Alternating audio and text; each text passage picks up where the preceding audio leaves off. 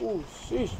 Xavier, did you do a senior day last year at USF? No, sir. So, what, so what is it going to mean this week to kind of participate in that? Uh, it's gonna be cool. Uh, you know, have my folks out here watch me uh, walk across the field and stuff like that.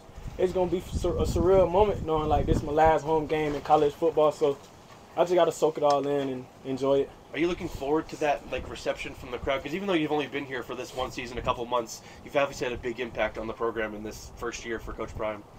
Oh yeah, you know, I, ho- I hope they give me a couple cheers, you know, a couple smiles, claps, and stuff like that. But other than that, you get it over with and get ready to play the game.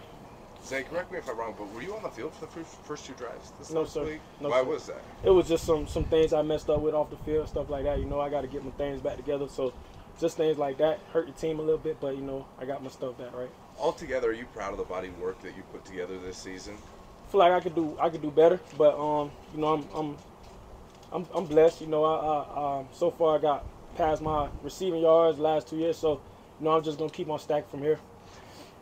What would it mean for you to get this offense back on track in your last game at, at CU, at home game at CU? It mean a lot, you know. Uh, you know, coach said he wanted to finish eight and four. Well, we can't do that without winning the game ahead. You know, we, we fell short last week, so you know we got to go seven and five now. So we just got to play every game one step at a time. Xavier, it's been a few weeks now that you were named to the Biletnikoff watch list. What does it mean to you as a receiver to be named to such a prestigious list like that? I mean, it's cool. It's cool. You know, I was I was on the watch list last year. You know, just being able to have people um, notice me and stuff like that. But you know, I want to go further than just the watch list. So Do you feel like this offense is close to clicking and, and turning it around? definitely, definitely, we've been close all year. We just can't put it together. We just can't, like you said, we can't click for real. So, but it's, it's definitely getting close. We, we only got a couple more games, so we got to speed up the process. What's the keys to that happening? Practice. It all starts in practice. You know, we can't come out flat in practice and then expect to come out and click in the game. So we got to uh, treat practice like the game. Going back to those first few drives, what did you do to learn from whatever you did off the field and what the coaches do to help you move on from that? Uh, you know, I just, just uh, really tell the next man, you know, be ready. You know, we got Omarion Miller, so it's not like we missed the beat, and it's uh, in that sense. So you know, I just gotta be better, be better. I asked Coach Prime the other day about an NFL comp for you, and he went old school. He went Andre Rison. Who are the guys that you looked up to, and maybe who do you see in your own game?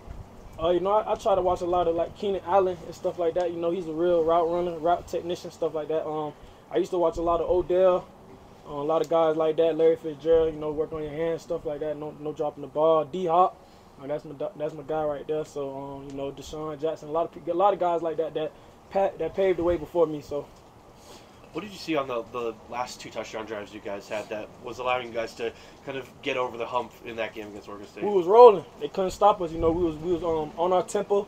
Uh, you know, when we go when we go fast tempo, a lot of people can't can't really mess with us. So we was just on our tempo and executing our, our routes and where we need to be at the right time. And the quarterback was able to find us.